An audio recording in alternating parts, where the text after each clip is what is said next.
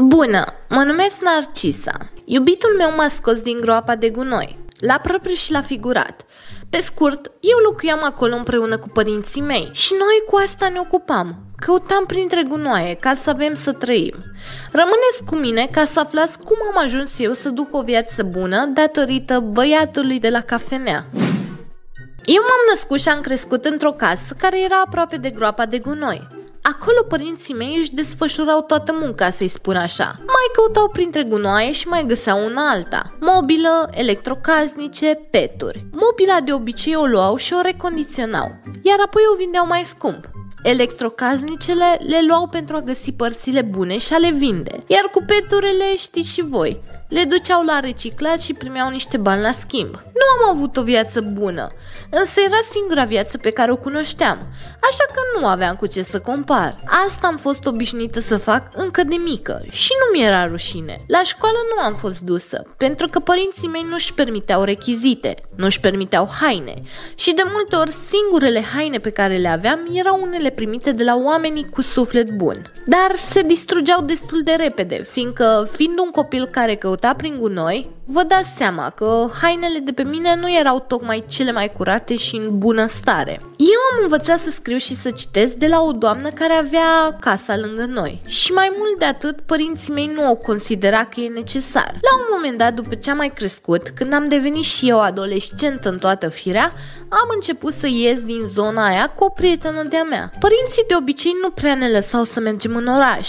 pentru că ziceau că sunt o felul de pericole și nu vor să ne expună. Dar de fapt nu voiau să ne expună la răutățile oamenilor. Pentru că de foarte multe ori ni s-a întâmplat atunci când intram într-un magazin să fim privite urât de toată lumea și să stea paznici în spatele nostru de parcă așteptau să furăm ceva. Noroc că din acest punct de vedere eu nu am fost prea sensibilă și cumva mă obișnuisem și începusem să nu mai bag în seamă ce se întâmplă în jurul meu. Cum am zis, am început să ies cu prietena mea Alina și la un moment dat m-a dus la o cafenea. Aveam și noi vreo 20 de lei strânși și văzusem pe stradă o grămadă de oameni având cafeaua în mână. Am zis să ne facem și noi pofta asta, chiar de ne dădeam toți banii pe ea. Mai ales că niciuna dintre noi nu a testat vreodată cafeaua. În centrul orașului era o cafenea la care intra foarte multă lume și am zis să mergem acolo, fiindcă văzând atâția oameni am bănuit noi că e bună.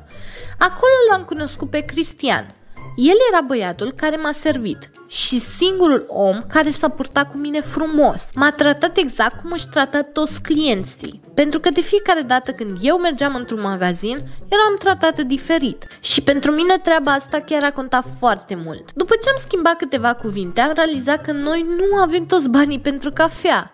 Noi aveam 20 de lei și ambele valorau undeva la 30. Am avut mare noroc și Cristian ne-a spus că e ok așa cu zâmbetul pe buze și nu ne-a taxat mai mult decât aveam. Nu știu de ce, dar el a avut ceva special. Din prima clipă mi-a rămas gândul la el, așa că de fiecare dată când aveam ocazia și mai strângeam niște bani, mergeam la el să-mi iau o cafea. Și așa am început noi să vorbim. De ce am impresia că te-ai îndrăgostit de acest băiat? Adică niciodată n-am văzut să te aranjezi atât de mult când ieșim în oraș, să spese de părerea altora. Și mai ales că bei cam multă cafea acolo. De fapt, toți banii pe care îi primim se duc pe cafea și culmea e că ai zis că nu-ți place. Nu vreau să fiu răutăcioasă. Eu mi-aș dori din suflet să-ți fie bine. Doar vreau să te rog să ai grijă, pentru că mie sora mea mai mare mi-a povestit cum stă treaba cu băieții ăștia de la oraș. Mulți caută să-și bată joc de fetele ca noi. Ne văd inocente și mai prostuțe și se folosesc iar apoi ne aruncă ca pe un obiect folosit. Înțeleg, dar nu cred că e cazul lui. El s-a purtat mai frumos cu mine decât oricine și decât băieții de aici, care, fie vorba între noi, sunt de ai noștri. Nu am simțit vreodată că face vreo diferență între mine și celelalte fete. Din contră, am impresia că e mai finuț cu mine. Știu și eu că sunt mulți oameni răi și, crede-mă, nu sunt deloc inocentă în privința asta, fiindcă am dat de o grămadă, dar cu el chiar simt că e altceva. Acum nu știu dacă mă place pe bune sau doar e milă de mine. Asta mai trebuie să aflu. Dar eu am încredere că băiatul ăsta e diferit. Ok, înțeleg, doar că trebuie să fii atentă. El știe unde stai și cu ce se ocupă părinții tăi? De fapt, cu ce te ocupi și tu, pentru că nu e ușor de acceptat. Dacă vrei o relație serioasă cu el, trebuie să te gândești și la familia lui. Ce părere o să aibă despre tine și despre oamenii din jurul tău? Ți-am zis, nu-ți spun toate chestiile astea ca să te dezamăgesc sau să-ți fac vreun rău. O spun tocmai pentru că vreau să am grijă de tine. Nu vreau să te aventurez în ceva și după aia totul să suferi. Evident că nu i-am spus. Nu aveam ocazia. Doar nu era să mă trezesc așa dintr-o dată în timp ce îmi făcea cafeaua și să zic Hei, eu am crescut la groapa de gunoi și părinții mei caută prin gunoaie ca să trăiască. Dar bănuiesc că și-a dat seama după felul în care arăt și după hainele mele că nu sunt o persoană prea bogată. Înțeleg că e un subiect important și eu o să-i spun, dar după ce ne cunoaște mai bine. După ce am vorbit cu prietena mea, pot spune sincer că am stat să mă gândesc și mi-am dat seama că da, într-adevăr situația mea ar putea fi o problemă între noi, pentru că nu mulți acceptă să aibă în viața lor pe cineva care a crescut așa. Și nu doar atât, mai era vorba și de familia lui și de oamenii din jurul lui. În general, oamenii ca mine se căsătoresc tot cu oameni din comunitate, pentru că suntem toți la fel și ceva rău nu se poate întâmpla. Însă de data asta era diferit.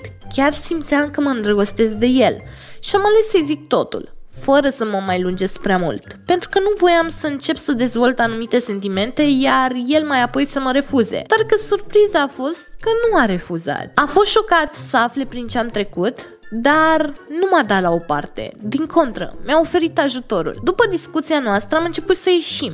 În fiecare zi liberă a lui ieșeam în parc. Mă duceam tot felul de locuri noi și trăiam o adevărată poveste de dragoste. La un moment dat mi-a propus o chestie și anume să merg cu el la cafea să lucrez, să strângem niște bani, să luăm o chirie cu mai multe camere și să ne mutăm împreună. Și ideea era că nu voia să ne mutăm doar noi doi, ci să-i aduc și pe părinții mei. Fix așa am și făcut. M-am angajat acolo cu el, am stat încă două luni, am pus amândoi bani deoparte și ne-am mutat. Vreau să vă zic că din acel moment viața noastră s-a schimbat complet. Părinții mei au fost foarte deschiși și bineînțeles că au acceptat. Ba chiar fiind mai aproape de oraș și având niște vorbe bune din partea lui Cristian, au fost și ei angajați. Și lucrând toți patru, într-un an de zile am reușit să strângem suficienți bănuți încât să ne deschidem noi ceva împreună. Acum nu vă gândiți că ne-am deschis un restaurant sau ceva.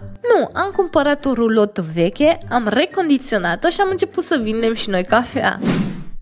Cristian mi-a schimbat viața, și mie și părinților mei, și nu pot decât să-i fiu recunoscătoare pe viață. Încă suntem împreună, bineînțeles. M-a cerut în căsătorie și cel mai probabil la anul va fi nunta noastră. Să știți că mai sunt și oameni buni pe lumea asta. Oameni care iubesc sincer și care nu se gândesc doar la bani și la statut. Aveți încredere că Dumnezeu vă va pune în cale omul potrivit.